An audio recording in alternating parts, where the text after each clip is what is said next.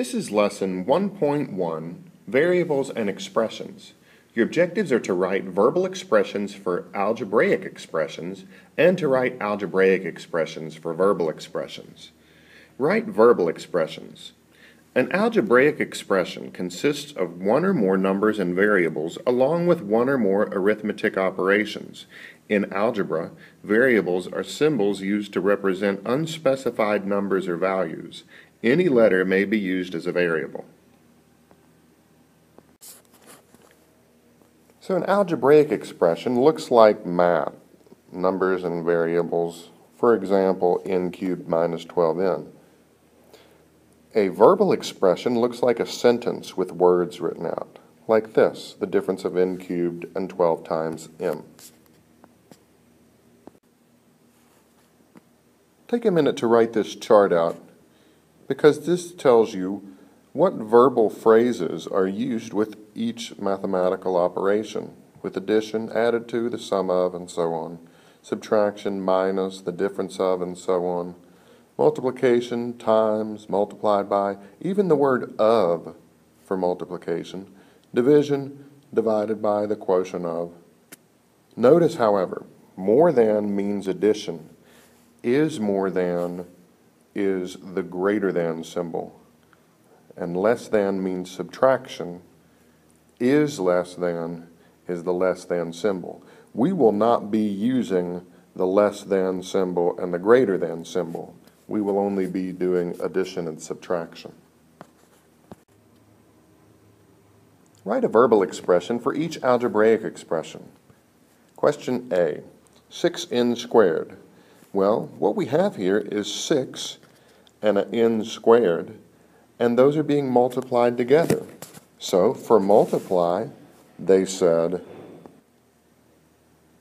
the product of, and what are they taking the product of? 6 and n squared. Remember, there are other ways to write these. This is just one way to do it. Example B, n cubed minus 12m. Well, since we have subtraction, you could say the difference of, and what are you taking the difference of? n cubed and 12 times m. Remember, there are other ways to write this. This is just one way.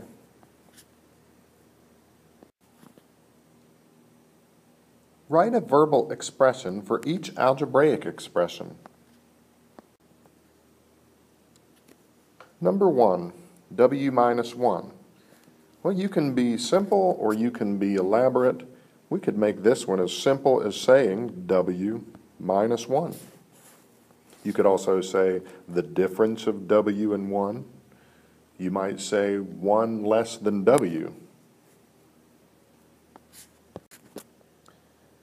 Number two, I need something to represent one third, something to represent times, and something to represent a cubed. For the multiplying, I could say the product of, what am I multiplying? One third and a cubed.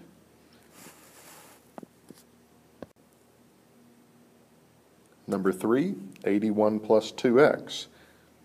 I've got an 81 addition, a 2, multiplication, and an x. How about 81 plus the product of 2 and x?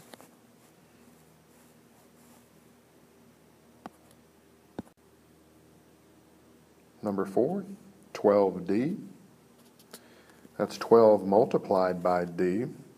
So you could say simply 12 times d.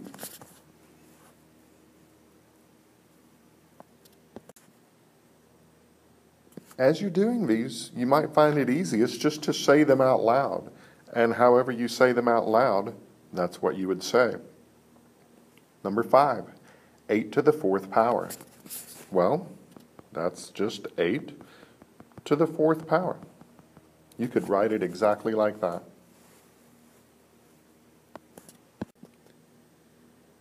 Number 6, we have 6 to the second power, or you could even say 6 squared.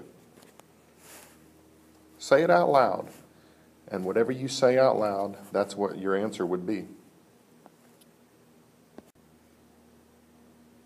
Number seven, 2n squared plus 4. Well, I have a sum of two things here. What am I adding together? I'm adding the 2n squared and the 4. So I could say the sum of 2 times n squared and 4.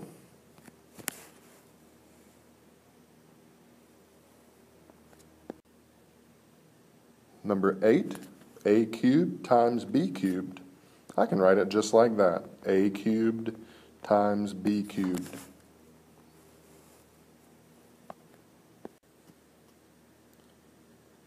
Number 9, 2x cubed minus 3. I can say it almost like that. 2 times x cubed minus 3.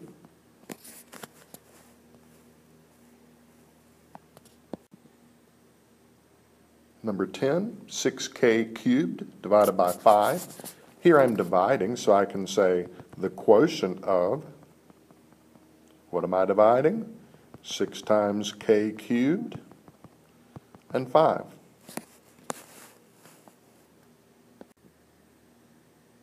Number 11, 1 fourth b squared.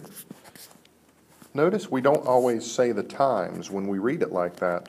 When you write your sentence out, make sure you say the times. One fourth times b squared.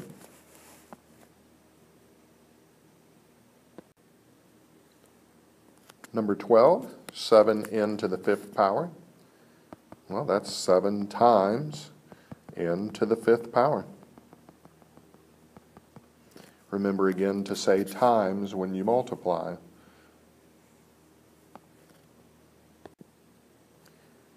Number 13, 3x plus 4. It sounds simple when you say it, and you could write it something like that, but let's do one a little more complicated. Another way to say that you're adding 4 is to say 4 more than, it's 4 more than what? The product of 3 and x. Remember, there are lots of ways to write these. You choose what is best for you.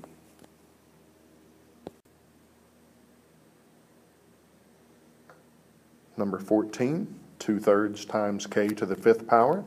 You can say it just like that. 2 thirds times k to the fifth power. Number 15, 3b squared plus 2a cubed. You can write it almost exactly like that. 3 times b squared plus 2 times a cubed.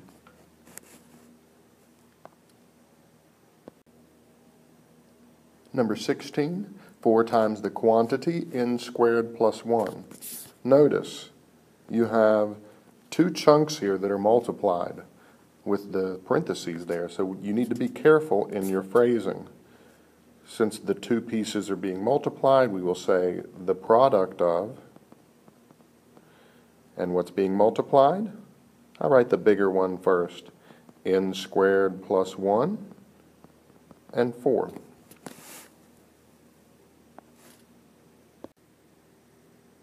Write algebraic expressions. Translating verbal expressions into algebraic expressions is an important algebraic skill. We're doing what we did in the last section in the opposite order. Before we were given an algebraic expression and we wrote a verbal sentence, now we're given a verbal sentence and we write the algebraic expression. Write an algebraic expression for each verbal expression. Four more than a number n. We'll break it down. We have the number 4, we have more than, and we have a number n.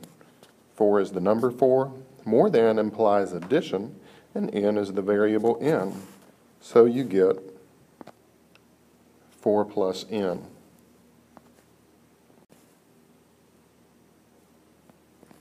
B. The difference of a number squared and 8. Difference is subtracting a number squared could be n squared, and 8 is the number 8. So you get n squared minus 8.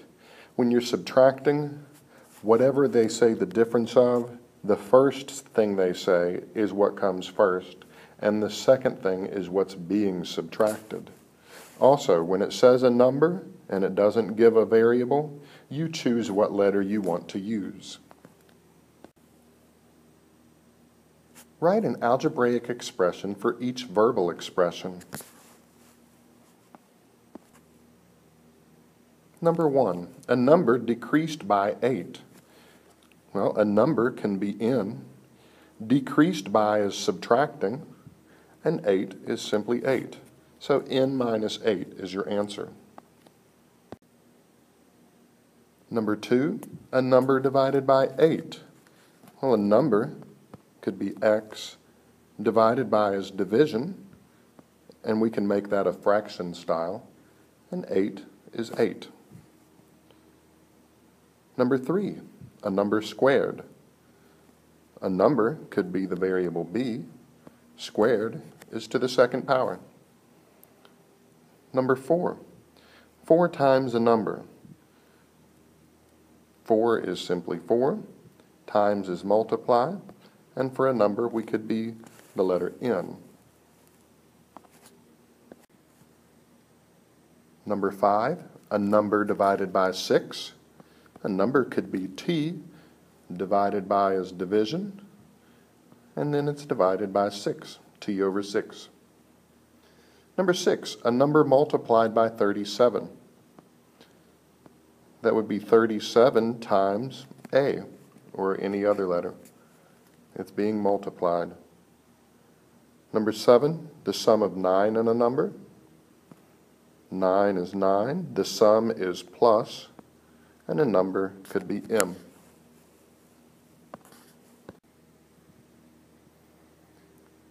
Number 8, 3 less than 5 times a number. Less than is subtraction, and it's 3 less than. So we're subtracting 3 from something. What are we subtracting it from? 5 times a number. So you could say 5x. 5x minus 3. Notice, 3 less than 5 times a number. The 3 goes after the subtraction. Number 9. Twice the sum of 15 and a number. Twice is 2 times something, and it's the sum of things. What is it the sum of? 15 and a number. So 2 times the quantity, 15 plus p. Number 10. 1 half the square of b. 1 half, and you can just say b squared. Since that one said the square of b, then we definitely have to use the variable b. Number 11, 7 more than the product of 6 and a number. 7 more than means you're adding 7. What are you adding 7 to?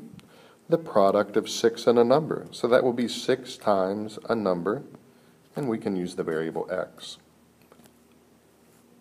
Number 12, 30 increased by 3 times the square of a number. 30 increased by is 30 plus. What's adding to it? 3 times the square of a number. 3 times a number squared, and you can use the variable c.